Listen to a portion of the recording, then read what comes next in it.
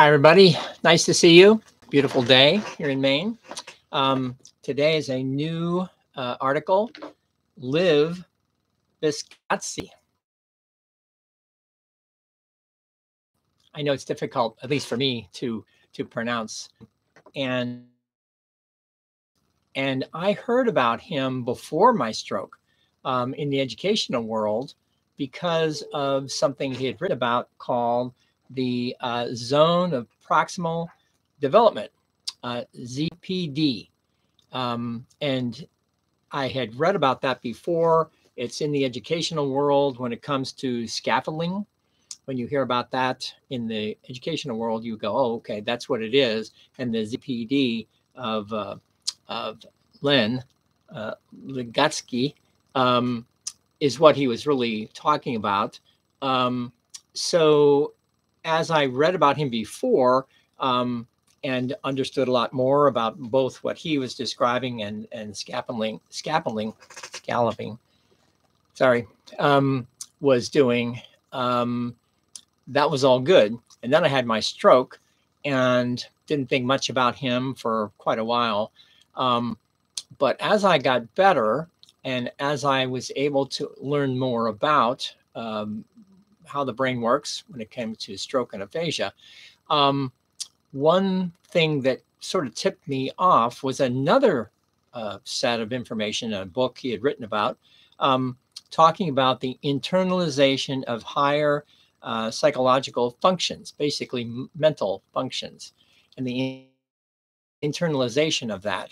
And um, this now this is after my stroke, and I I had been keeping track, of course, with my writing and my recording um, uh, for the couple of years after my stroke, and had seen uh, various um, metaphors of what it was that I was doing that was eventually would get me better.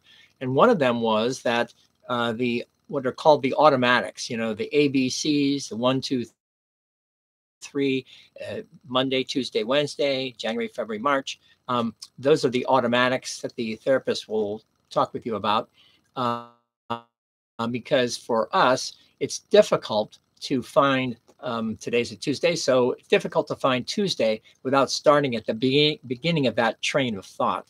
So, in especially at the beginning, when it was a Thursday or whatever, I would go, and I couldn't come up with that word. I knew exactly what it was, but I couldn't get to that word. And you'll see lots of my work talking about automatics and the the issue that it is with people with stroke and aphasia who cannot find their way in a train of, of thought. They have to actually start at the beginning. So I would say to myself out loud, Monday, Tuesday, Wednesday, Thursday. Ah. Um, and the more I did that, I thought, okay, well, I'll go faster, right? Why not go faster? Because I know where it is. It's over there. If it's a Friday, it's way over there and if today's a Tuesday, but I would start by saying Monday, Tuesday, Wednesday, Thursday, Friday, um, emphasizing on Friday. That is the day I wanted to say. Um, but I would do it faster and faster. And as I went faster, then I would realize, oh, I don't have to say the whole thing because I would say Monday, Tuesday, Wednesday. I go Monday, Tuesday, Wednesday, and I started whispering. I said Monday, Tuesday, Wednesday, Monday, and then I got. Now I didn't have to do the whole world. It was just Friday, um, and and as I got better, then when people would ask me what day is tomorrow, what are we going to do tomorrow or next week, in the on the inside, I didn't have to say it out loud to myself, which I had been doing out loud actually to other people. Um, I could go quickly, mentally, very very quickly, uh, because now we're moving not at the speed of light, but darn close, um, and not really, uh, but moving much faster than me actually having to pronounce Monday, Tuesday, Wednesday, Thursday, Friday, Saturday. Um, so as that happened, and now people ask me things, and I would still be thinking my way through, right? And then come to Friday, as it were. Um, but as it got, quote, faster and faster, I began to see this internalization before I really knew that that was the word. Um, that the internalization of what I had before had broken various of links in terms of the lost cells, um, dendrites, synapses, uh, disorganizing the uh, neuro um, networks and groups, I didn't know any of that at the time. All I knew was that as I got better, I got better by saying it out loud, then saying it faster, then whispering, then bringing it inside, and not even having to do the whole word, but going Friday.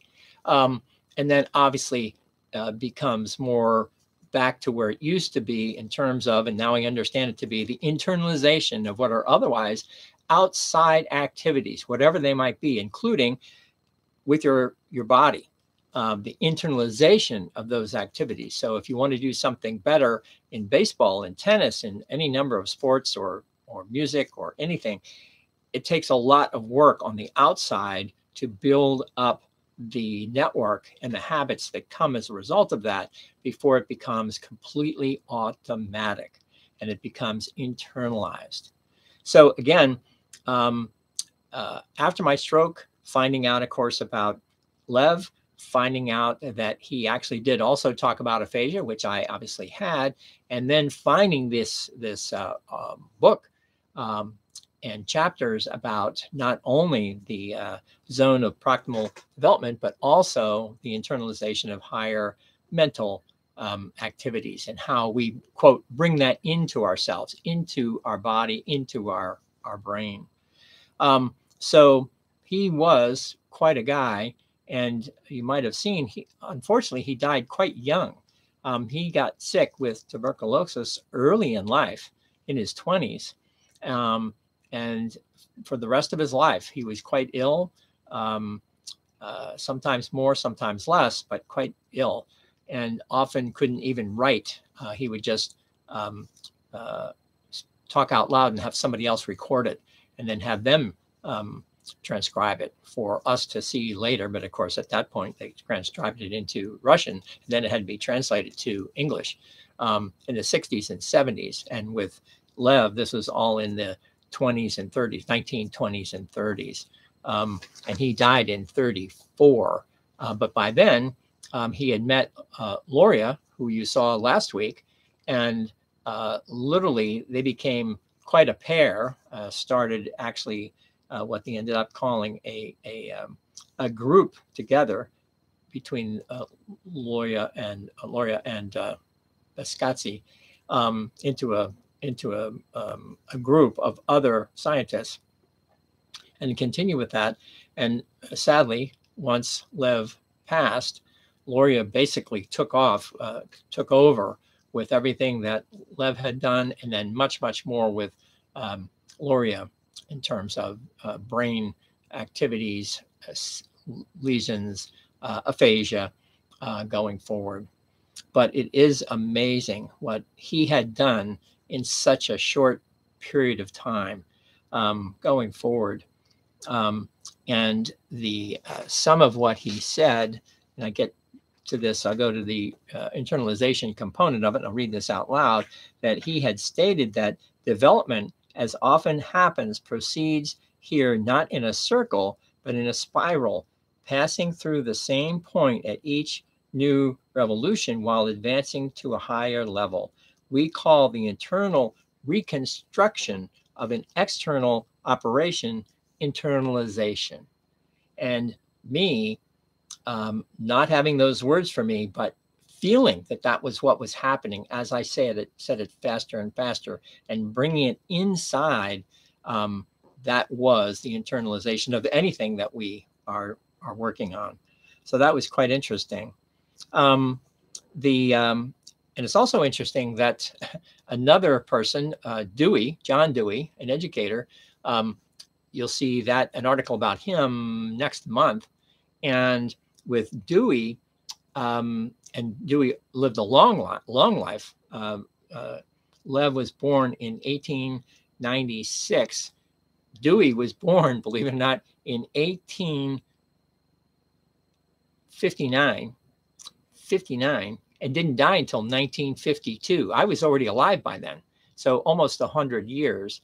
And with Dewey, he too had learned a lot about other scientists who were who were um, uh, psychologist people, uh, all those kinds of people like Luria, um, um, William James, um, but as an educator, he started to adopt some of that information, some of that language from those other scientists. And at one point, and I used Dewey in this article because, as it says here, um, that uh, that with Dewey, who actually uh, uh, had mentioned uh, Dewey in that particular article, that particular book. Um, and then Dewey talked uh, touched on it in another book called Experience in Education. That and then here's the quote: that the problem grows out of the conditions of the experience being had in the present, and that is within the range of the capacity of students, and the process is a continuous spiral.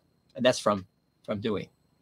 Um, the um, and then when it comes to the zone of proximal development, um, another good, good, good uh, quote from him was that the actual transition from the internalization and moving past uh, uh, this, these circles, this spiral of, of, of uh, with doing activities, but needing help to understand what the problem is that needs to be solved.